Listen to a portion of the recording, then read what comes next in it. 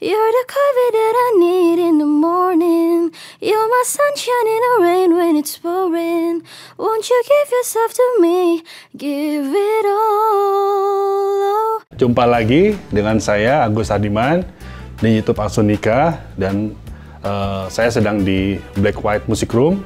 Nah, ini saya dapat ini nih dua interface baru yang unik ya. Jadi dari Icon Pro Audio yaitu Duo 22 Live ya.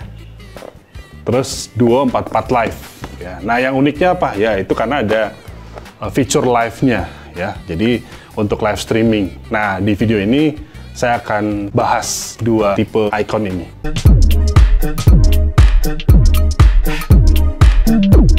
Oke, jadi ini 222 live. Kita lihat isi dalamannya.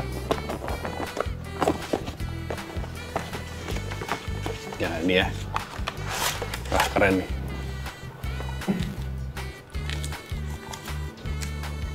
Ini panel depannya.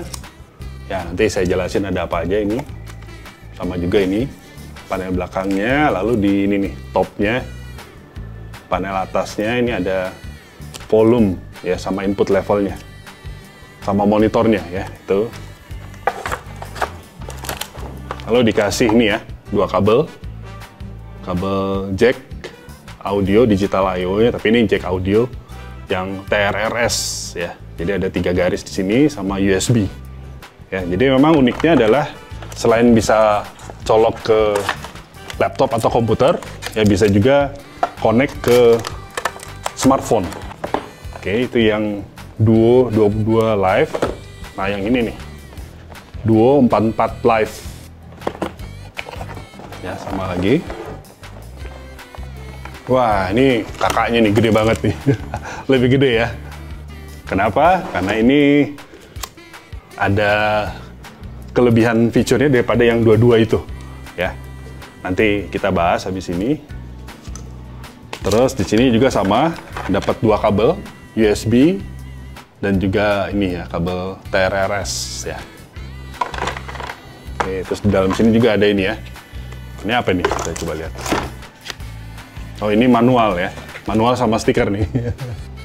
stiker icon dan manualnya nih. Oke.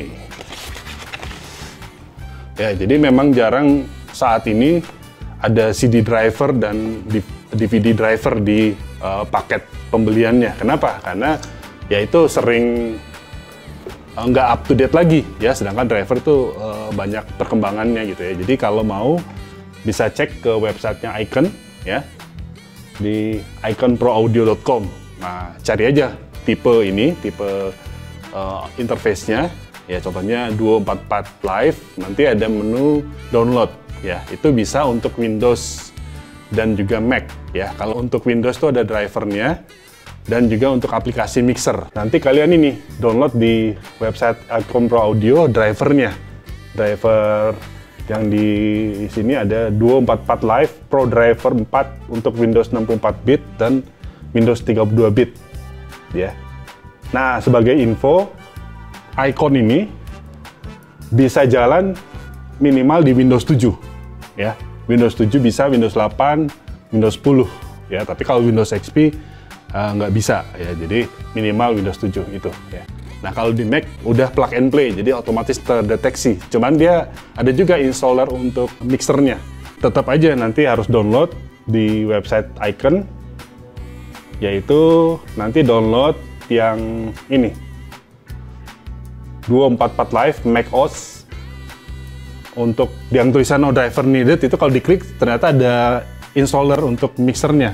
Uniknya mixernya itu apa? Yaitu ternyata ada plugin-plugin VST itu kita bisa loading di situ tanpa perlu kita jalankan software DAW ya seperti Cubase, Studio One, Pro Tools nggak perlu lagi. Jadi akhirnya apa? Ke komputer jadi lebih ringan. Ya ini dia ya. Jadi udah dilepas dari kurungannya. ya ini perbandingannya ya. Jadi antara Duo 22 Live dengan Duo 44 Live ya. Seperti ini ya. Nah kita lihat sekarang apa perbedaan keduanya dari ukuran udah pasti ya. Ini ukurannya yang ini uh, gede ya.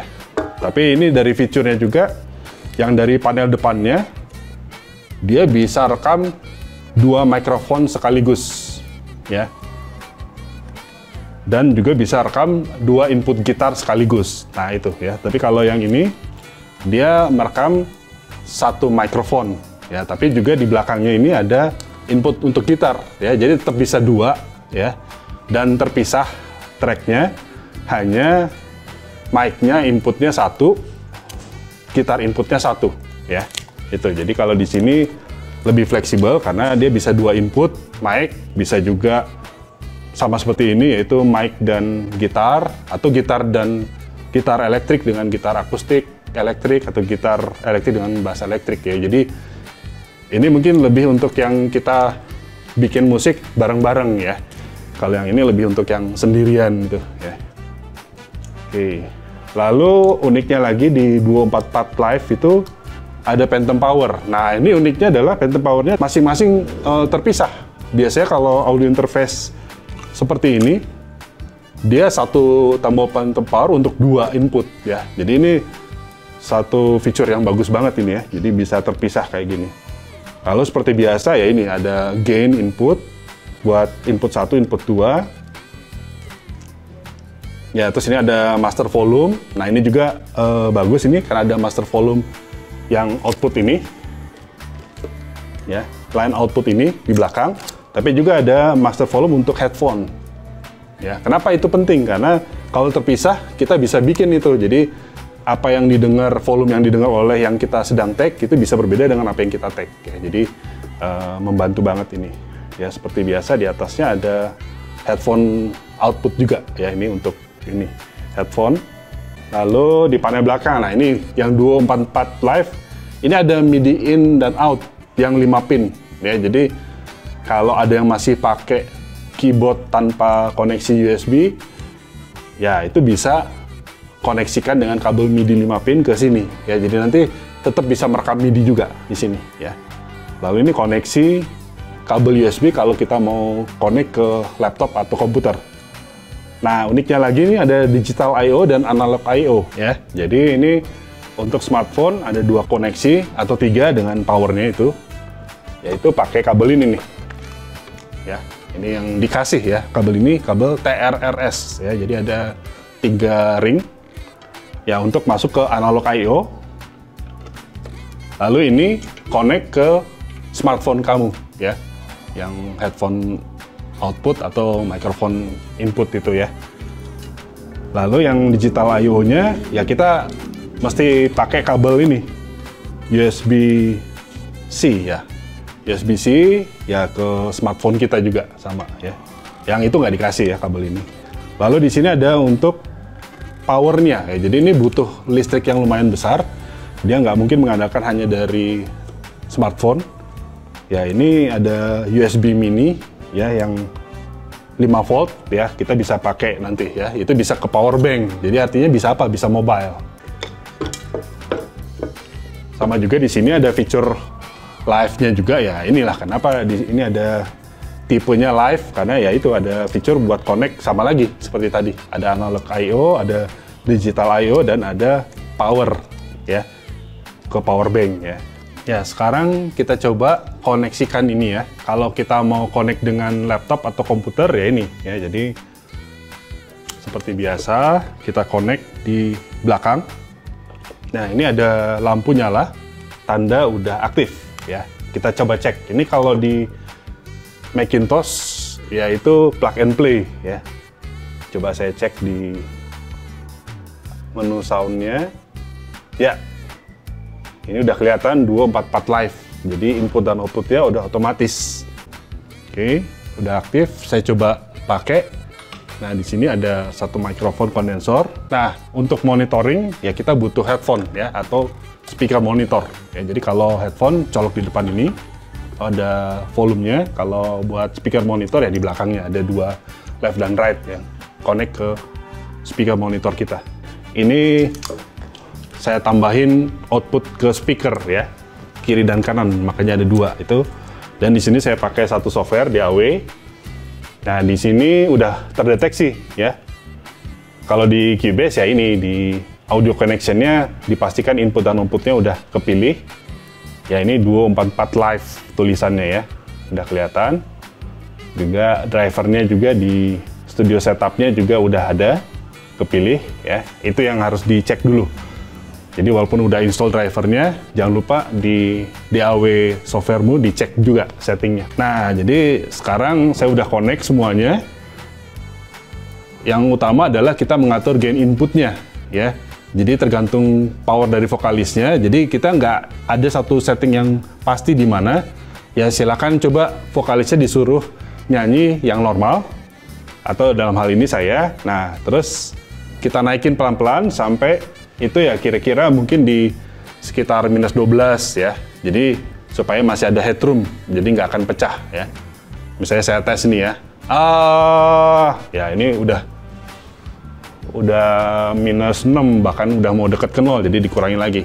Ah, ah, nah itu segitu. Sip. Ah, nah itu ya. Jadi kita udah ngeset. Ini saya coba rekam suara saya dulu ya.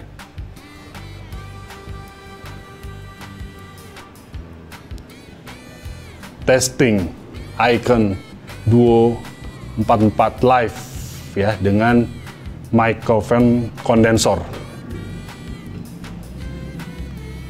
Ya, paling di sini di rumah saya noise-nya gede ya, ada dari jalan, dari luar ya. Jadi tapi dari sininya kita cek coba ya. Harusnya sih uh, low noise. Ya. Testing icon Duo 44 live ya dengan microphone kondensor. Ya, jadi ini kalau dilihat nih volumenya udah paling full nih. Jadi artinya apa? Noise-nya sangat rendah ya karena dengan volume yang keras pun nggak kedengeran noise ya. Itu. Testing icon Duo 44 live ya dengan microphone kondensor. Ya, dan karakter preamnya juga oke okay, karena bodinya dari mikrofon atau vokal saya itu masih ada ya. Jadi biasanya kalau interface yang lebih jelek kualitasnya adalah bodinya nggak ada ya. Nah ini masih ada, jadi aman. Ya kemudian juga tadi transient atau attack-attacknya juga masih ke capture dengan baik ya. Oke. Nah mungkin saya mau coba dengan anak saya nyanyi, yang benar-benar penyanyi. ya kalau tadi pakai suara saya yang nggak banget, ini ada bunga ya dia akan coba nyanyi sepotong, tapi saya akan coba ini yang icon duo dua dua live ya. Jadi ini dan mic-nya ini Warm Audio 87R2. You don't know babe when you hold me and kiss me slowly it's the sweetest things and it don't change. If I had it my way, you will know that you are. You're the coffee that I need in the morning. You're my sunshine in the rain when it's pouring. Won't you give yourself to me? Give it all. Oh, I just wanna see. I just wanna see how beautiful you are. Ya, itu ya. Jadi kita udah dengarkan sampelnya. Ya, suara saya dan juga suara bunga.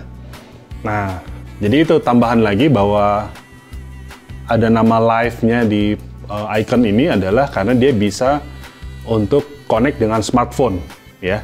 Jadi di belakang ini ada beberapa uh, jack input dan output untuk connect ke smartphone dan memang harus pakai yang kabel USB yang OTG ya, itu syaratnya.